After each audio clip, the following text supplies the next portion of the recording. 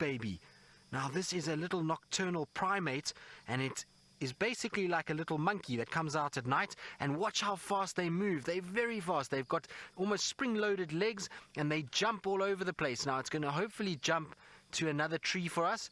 There we go. It's going to use these strong, strong legs to jump off to the next tree. And the reason why they jump from tree to tree is because they're looking for food. So these guys eat both insects as well as plant material. Now, when I say plant material, I'm talking about sap. Watch it jump. Did you see how far it jumped? Isn't that amazing? There it goes. It's very quick. There it goes again.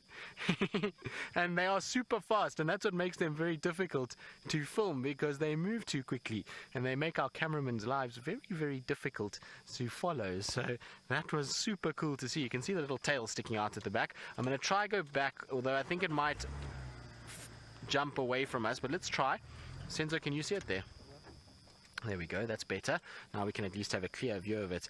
And like I say, they, they'll eat plant sap. So what they do is they bite the tree, and then the tree, because it's been bitten, will produce a sugary substance, and that substance is what these guys want to eat. And so they'll bite it, and then tomorrow night they come back to that tree and they come and feed off that sap that is on the tree. And the long tail helps for them to be able to balance when they're jumping around and trying to sort of find their way and and to keep their balance when they try and land on the next tree. And look at how long their back legs are with big muscles for their size so that they can jump. There it goes.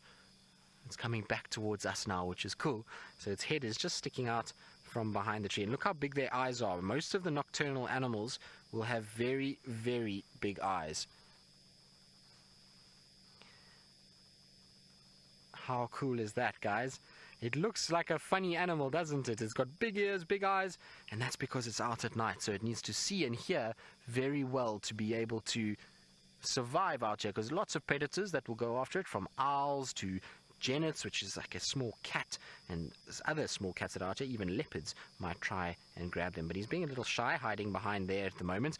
Difficult to say if it's a female or a male. They're hard to sex because they are so small, we can't see which ones are which. There's no difference between the two. Mainly, you want to know what my favorite animal is? Well, my favorite animal is the two animals we saw just now, which are the leopards. I love leopards. They're my favorite, favorite, favorites. They are such beautiful animals and they are so powerful and really are very clever and they're able to hunt by themselves and look after themselves. Look how quickly it moves. Did you see how fast it moved? It jumps so fast. But our bush baby is busy jumping away and disappearing into the bush. And unfortunately, that's all we've got time for this afternoon. I hope that you had a really, really wonderful time with us this afternoon, that you learnt a lot, and that you're going to go home and tell your parents all about the wild animals that you saw here in Africa, and that you will have a wonderful day at school today and for the rest of the remainder of your day. And so, from myself and Jamie and Senzo, it's been a pleasure, and we'll see you tomorrow on the Sunrise Safari.